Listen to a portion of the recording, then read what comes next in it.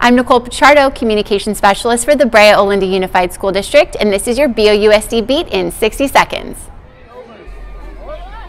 Last Saturday, 4th, 5th, and 6th grade students from all six Brea elementary schools showed their track and field skills at the 40th annual Best Meet.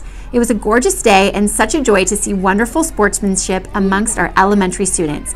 Thank you to all of the wonderful volunteers, BOUSD staff members, board members, parents, all of our staff for helping to put on such a great event.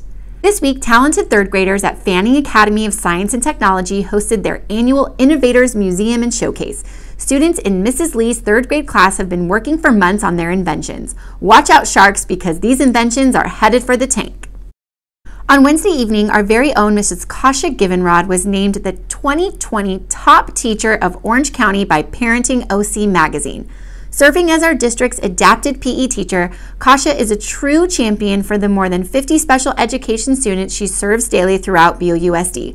We closed out the week celebrating our amazing school counselors. If you didn't know, this was National School Counseling Week, and we would like to formally thank all of our incredible school counselors for all of your hard work, long hours, and dedication you place into working with your students to make them succeed. We truly appreciate each and every one of you.